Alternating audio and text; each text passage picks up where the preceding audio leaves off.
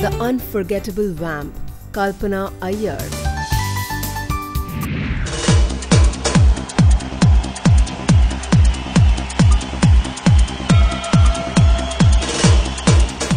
Who can forget Hari Om Hari from the 1980 film Pyaara Dushman and Rambha Ho from 1982 film Armaan.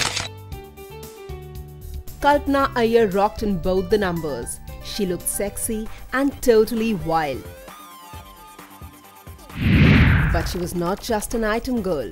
Kalpana Iyer was seen in many films, mostly negative characters. She had a different personality and a great body. She is one of those vamps which Bollywood does not have anymore. Let's know more about this unforgettable performer, Kalpana Iyer. Kalpana Iyer was born on 1st January 1955.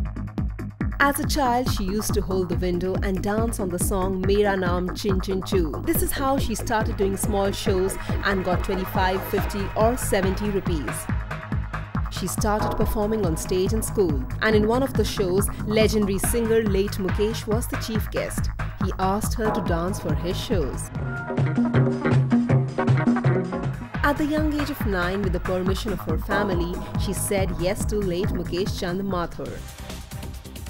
Considering this as an opportunity, she danced along which helped the family financially. She is not just an actress but a beauty queen also. In 1978, she was the first runner-up at the Femina Miss India contest. Later, when she represented India on an international platform at the Miss World contest, she was at the 11th position.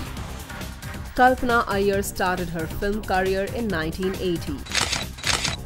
She was seen in many films as a vamp.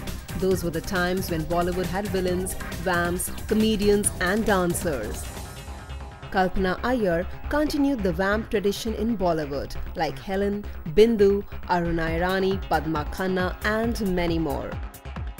She was seen in many films like Satte Pe Satta, Sajan Ki Saheli, Disco Dancer, Pyaara Dushman, Kudrat, Armaan, Zakhmi Aurat, Wardaat and many more.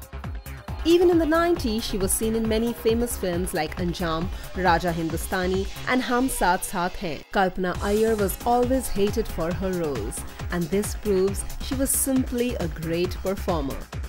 She was also seen on television, and it is said that she became a pop singer and performed on shows as well. According to the sources, she has settled in Dubai and is into restaurant business. Kalpana Iyer, the performer, has never talked much about her personal life. But since her childhood, she worked hard and was always focused towards her family. Kalpana Iyer is the unforgettable performer, the loving vamp of Bollywood. To know more interesting stories of Bollywood, subscribe Page 3 Reporter.